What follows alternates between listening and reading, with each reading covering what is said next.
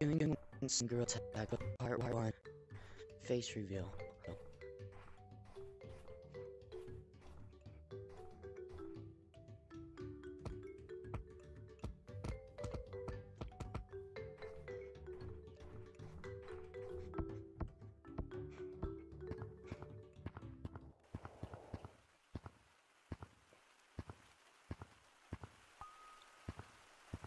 Here's your face reveal.